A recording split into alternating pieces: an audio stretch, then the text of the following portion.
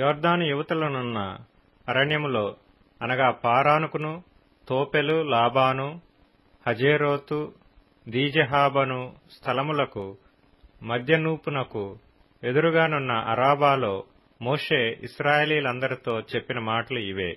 హొరేబు నుండి సేయూరు మన్నెపు మార్గముగా కాదేశు బర్నేయ వరకు పదకొండు దినముల ప్రయాణము. హెష్బోనులో నివసించిన అమోరియుల రాజైన సీహోనును అష్టారోత్లో నివసించిన భాషాను రాజైన ఓగును ఎద్రయీలో హతము చేసిన తరువాత నలభైవ సంవత్సరంలో పదకొండవ నెల మొదటి తేదీని మోషే ఇస్రాయేలీలకు బోధించుటకై యహోవా తనకు ఆజ్ఞాపించినదంతయు వారితో చెప్పెను. యోర్దాను యువతలనున్న మోయాబు దేశమున మోషే ఈ ధర్మశాస్త్రమును ప్రకటింప మొదలుపెట్టి ఇట్లనెను. మన దేవుడైన యహోవా హోరేబులో మనకు ఈలాగు సెలవిచ్చెను. ఈ పర్వతమునొద్ద మీరు నివసించిన కాలము చాలును. మీరు తిరిగి ప్రయాణమై అమోరీల మన్యమునకును అరాబాలోను మన్యములోను లోయలోను దక్షిణ దిక్కున సముద్ర తీరములోనున్న స్థలములన్నిటికీ కనాను దేశమునకును లెబానోనుకును మహానది అయిన యూఫ్రటీస్ వరకును వెళ్ళుడి. ఇదిగో ఆ దేశమును మీకు అప్పగించితిని. మీరు వెళ్ళి యహోవా మీ పితరులైన అబ్రహాము ఇస్సాకు యాకోబులకును వారి తరువాత వారి సంతానమునకును ఇచ్చేదనని నేను ప్రమాణము చేసిన దేశమును స్వాధీనపరుచుకునిడి. అప్పుడు నేను ఒంటరిగా మిమ్మును భరింపలేను. మీ దేవుడైన యహోవా మిమ్మును విస్తరింపచేసిన గనుక నేడు మీరు ఆకాశ నక్షత్రముల వలె విస్తరించియున్నారు. మీ పితరుల దేవుడైన యహోవా మీ జనసంఖ్యను వెయ్యి రెట్లు ఎక్కువ చేసి తాను మీతో చెప్పినట్లు మిమ్మును ఆశీర్వదించునుగాక. నేనొక్కడనే మీ కష్టమును మీ భారమును మీ వివాదమును ఎట్లు భరింపగలను? జ్ఞాన వివేకములు కలిగి మీ మీ గోత్రములలో ప్రసిద్ధి చెందిన మనుష్యులను ఏర్పరచుకునడి. వారిని మీ మీద నియమించదనని మీతో చెప్పగా మీరు నీవు చెప్పిన మాట చొప్పున చేయటం మంచిదని నాకు ఉత్తరమిచ్చిరి.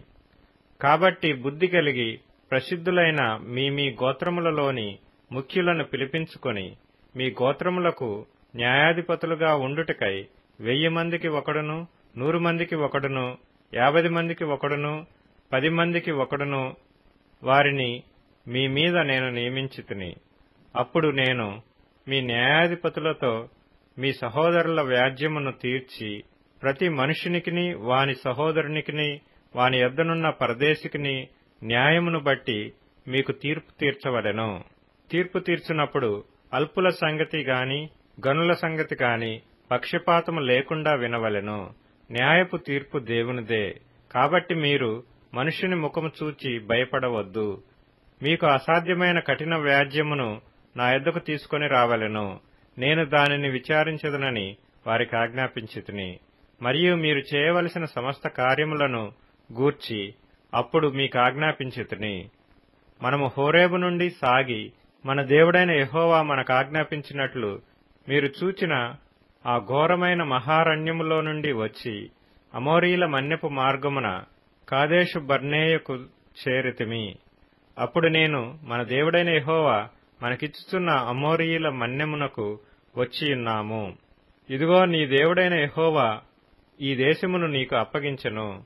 నీ పితరుల దేవుడైన యహోవా నీతో సెలవిచ్చినట్లు దాని స్వాధీనపరచుకొనుము. భయపడకుము అధైర్యపడకుమని నీతో చెప్పితిని అప్పుడు మీరందరూ నా ఎద్దుకు వచ్చి మనకంటే ముందుగా మనుషులను పంపుదము. వారు మన కొరకు ఈ దేశమును వేగుచూచి తిరిగి వచ్చి అందులోనికి మనము వెళ్ళవలసిన త్రోవను గూర్చియు మనము చేరవలసిన పురములను గూర్చియు మనకు వర్తమానము చెప్పుదురంటిరి.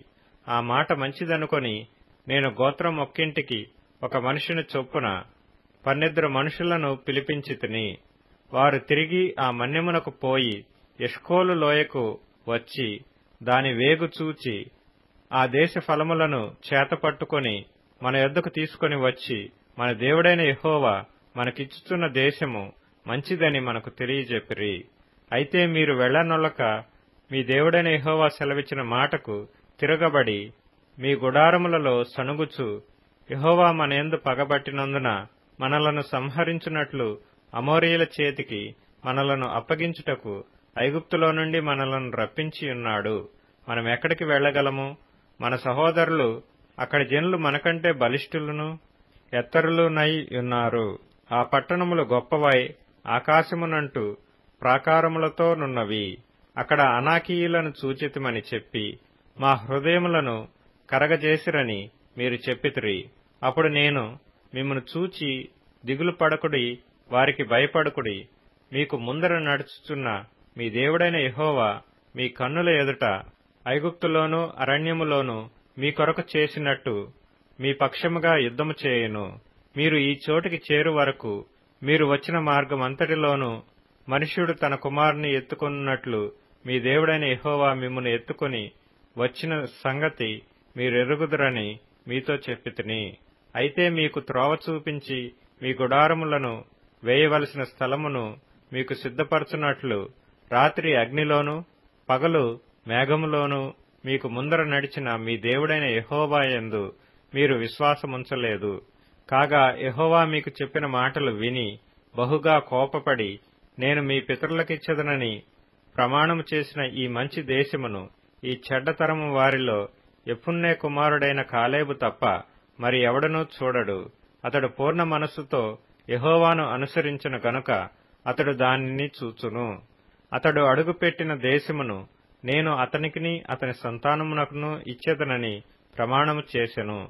మరియు యహోవా మిమ్మును బట్టి నా మీద కోపపడి నీ పరిచారకుడగు నూను కుమారుడైన యహోషువ దానిలో ప్రవేశించును గాని నీవు దానిలో ప్రవేశింపవు. అతడు ఇస్రాయేలీలు దాని స్వాధీనపరచుకొని చేయును గనుక అతని ధైర్యపరచుము. ఆ దినమున మంచి చెడ్డల నెరుగని మీ కుమారులు అనగా అపహరింపబడుదురని మీరు చెప్పిన మీ పిల్లలు దానిలో ప్రవేశింతురు. దానిని వారికిచ్చెదను. వారు దానిని స్వాధీనపరచుకొందరు. మీరు తిరిగి ఎర్ర సముద్ర మార్గముగా అరణ్యమునకు ప్రయాణం చేయుడని చెప్పెను. అందుకు మీరు మేము యహోవాకు విరోధముగా పాపము చేసితిమి. మా దేవుడైన యహోవా మాకాజ్ఞాపించిన మాటలన్నిటి ననుసరించి మేము పోయి యుద్ధము చేసేదమని నాతో ఉత్తరమిచ్చి మీరందరూ మీ ఆయుధములను కట్టుకొని ఆలోచింపక ఆ మన్యమునకు పోగా యహోవా నాతో ఇట్లనెను. యుద్ధమునకు పోకుడి నేను మీ మధ్య నుండను గనుక వెళ్ళకుడి మీరు వెళ్ళినను మీ శత్రువుల ఎదుట హతము చేయబడుదురని వారితో చెప్పుము. ఆ మాటలు నేను మీతో చెప్పినప్పుడు మీరు వినక ఇహోవా మాటకు తిరుగుబడి ఆ మన్యమునకు వెళ్ళితిరి అప్పుడు ఆ మన్యములో నివసించిన అమోరీయులు మీకెదురుగా బయలుదేరి వచ్చి కందిరీగల వలె మిమ్ము తరిమి హోర్మా వరకు సేయూరులో మిమ్ము హతము చేసిరి. తరువాత మీరు తిరిగి వచ్చి యహోవా సన్నిధిని ఏడ్వగా యహోవా మీ మొరను లక్ష్యపెట్టలేదు. మీ మాట వినలేదు. కాగా మీరు కాదేశులో బహుదినములు నివసించితిరి. మీరు నివసించిన దినములెన్నో మీకు తెలిసినవి.